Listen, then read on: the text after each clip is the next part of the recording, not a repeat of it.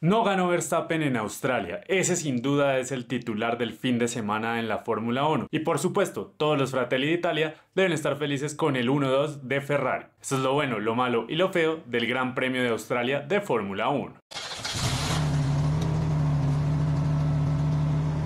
Impresionante lo que puede pasar en dos semanas, en 14 días, porque del abandono, del retiro por una enfermedad, del quirófano, la recuperación y a la victoria. Ese fue el recorrido de Carlos Sainz en 14 días.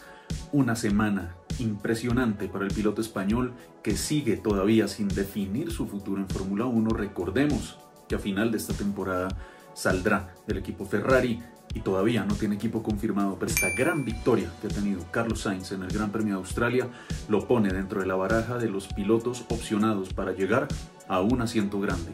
Sin dudas, una victoria que revitaliza al español, revitaliza a la escudería Ferrari y por supuesto revitaliza a la Fórmula 1 que volvió a tener una carrera más que interesante debido al retiro más impensado de todos, al retiro que nadie se esperaba en este campeonato, una falla mecánica de Max Verstappen. También hay que mencionar el complemento de esa victoria de Ferrari, de ese 1-2, porque Charles Leclerc también tuvo una carrera interesante que fue de menos a más con ese juego estratégico en medio del calor de Melbourne y sumó ese segundo lugar, sigue estando en el podio el monegasco y Ferrari completa un 1-2 que lo deja a solo 4 puntos de Red Bull Racing en el campeonato de constructores. Pero vamos a ver también cómo va a responder Red Bull Racing y Max Verstappen en la siguiente carrera, porque seguramente van a salir con mucha hambre de ganar y de volver a dominar.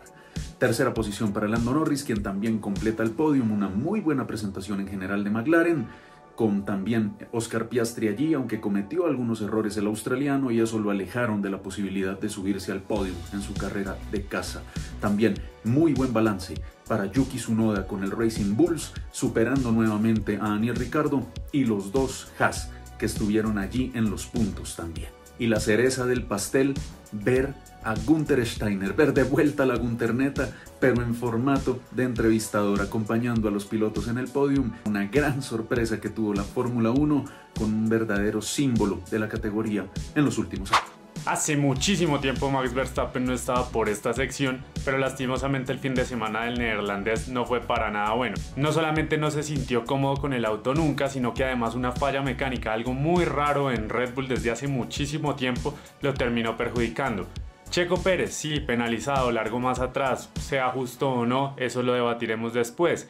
Pero igual, el mexicano tampoco tuvo el ritmo, no estuvo a la altura para pelearle ni a los Ferraris ni a los McLaren y eso, que tiene un segundo Red Bull que está llamado a liderar cuando Verstappen no esté. Sauber y Alpine definitivamente están condenados a pelear por quién es el menos malo de los más malos de la grilla, porque cometen muchos errores, no tienen velocidad y las paradas en pits de los dos Sauber con Bottas y con Sou fueron desastrosas durante la carrera en Australia.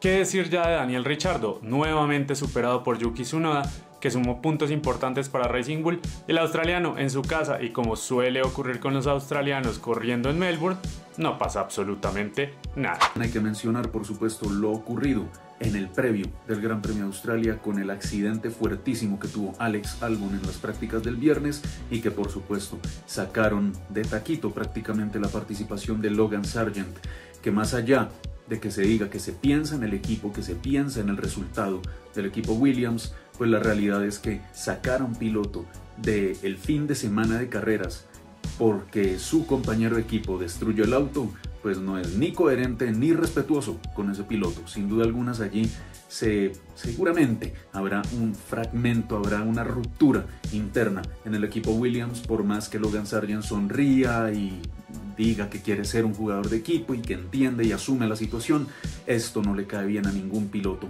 de la categoría. El desempeño de Alpine sigue siendo irregular, sigue teniendo inconvenientes y más allá de las situaciones que se han presentado durante carrera, siguen sin estar a la altura del resto de los equipos, todavía muy lejos, con muchos inconvenientes, tanto Pierre Gasly como Esteban Ocon, y el equipo francés tiene todavía muchísimo trabajo por hacer. También hay que hablar del pésimo rendimiento del equipo Sauber en las detenciones en los pits, tanto Valtteri Bottas como Wang Zhou con muchos problemas en las detenciones y por supuesto no están ni cerca de sumar puntos. Y la ñapa que nos deja este Gran Premio de Australia, la extenista Yelena Dokic, fue una de las víctimas indirectas de una salida de pista de Fernando Alonso durante el fin de semana, porque el piloto español, al despistarse, con toda esa leca que levantó en una de esas acciones fuera de pista, lesionó en los ojos a la ex tenista, quien informó por redes sociales con mucha ironía de que estaba yendo a Fórmula 1 y justo, justo, justo,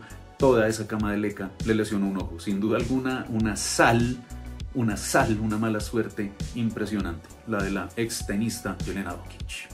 Pero ahora queremos leer las opiniones de ustedes, de los que están del otro lado de la pantalla. Déjennos en sus comentarios lo que opinan del balance de Carlos Sainz en este fin de semana, recuperándose de una cirugía de apendicitis y llegando a lo más alto del podium en un año en que cada movimiento que haga será trascendental para su futuro en la Fórmula 1.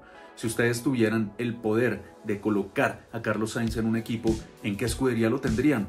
Lo dejarían en Ferrari, recuperarían esa posición del español en la casa italiana, lo llevarían a Mercedes a reemplazar a Lewis Hamilton, lo pondrían por allí en la posición de Checo Pérez, ¿por qué no? En Red Bull Racing, dejen sus comentarios y no olviden siempre seguirnos para más contenido del mundo motor y la Fórmula 1 acá en Col Motor Fans. Nos vemos en el próximo video.